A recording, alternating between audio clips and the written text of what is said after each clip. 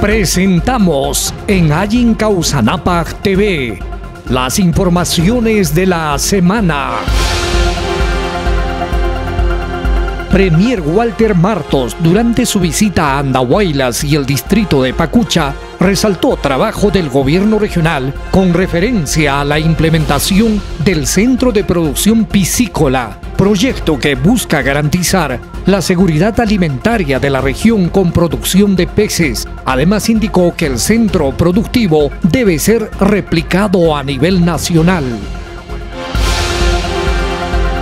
Gobierno Regional de Apurímac firma convenio específico de cooperación interinstitucional para brindar diplomados a 300 maestros, con el objetivo de desarrollar mayor y continua capacitación en innovación e investigación para docentes de la región. El Gobierno Regional de Apurímac junto a la Universidad Micaela Bastidas, DREA y el Fondo Nacional de Desarrollo de la Educación Peruana, FONDEP, firmaron el convenio interinstitucional a fin de concretar la generación de 300 diplomados denominados Diseño, Gestión y Evaluación de Proyectos de Innovación Educativa. Santuario Nacional de Ampay fue reaperturado al público para visitas turísticas.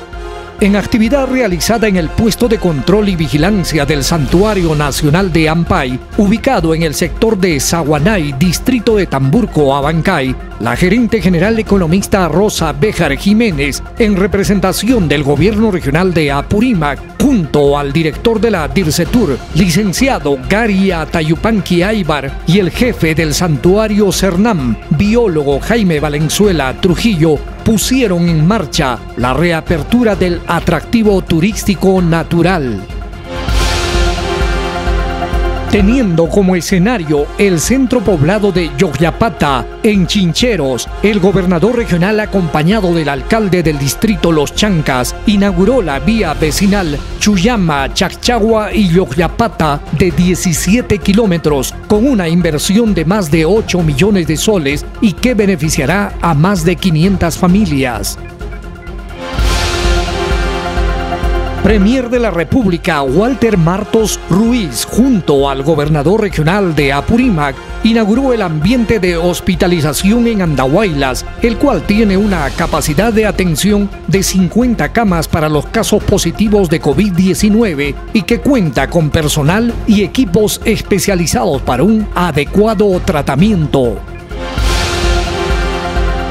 Siguiendo la estrategia de implementación y fortalecimiento de las capacidades de atención del personal de salud frente a la COVID-19, el gobierno regional de Apurímac entregó cinco ventiladores mecánicos al Hospital Regional Guillermo Díaz de la Vega de Abancay como parte del proyecto de inversiones de optimización, ampliación marginal, reposición y rehabilitación IOAR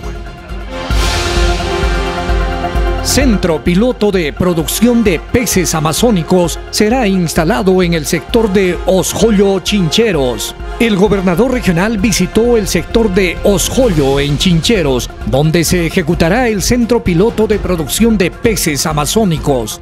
El proyecto consiste en la siembra de especies como el paco, paiche y doncella en cuatro estanques completamente adecuados. Además, anticipadamente se realizaron estudios técnicos del agua, teniendo resultados óptimos para la producción de las mencionadas especies. Funcionarios del Hospital Hugo Pese Peseto de Andahuaylas recepcionaron la planta de oxígeno en el marco de la emergencia sanitaria nacional, tras gestiones realizadas por el gobierno regional de Apurímac ante la Dirección General de Operaciones en Salud del Ministerio del Ramo.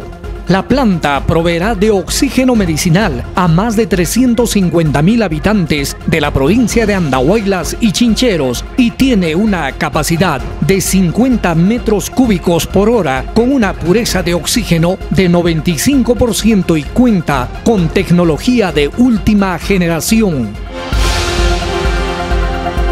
hallan fuente de agua de casi 500 años de antigüedad en construcción de Plaza Central de Cocharcas.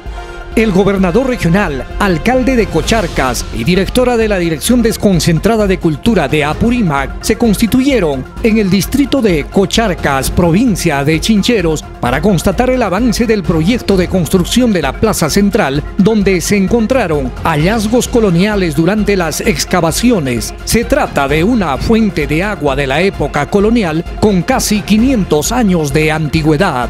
En la evaluación se concluyó que la obra no será paralizada y se realizará un trabajo concurrente mientras se ejecutan los estudios arqueológicos. Además, se harán modificaciones técnicas y presupuestales necesarias a fin de concluirla en el menor tiempo posible.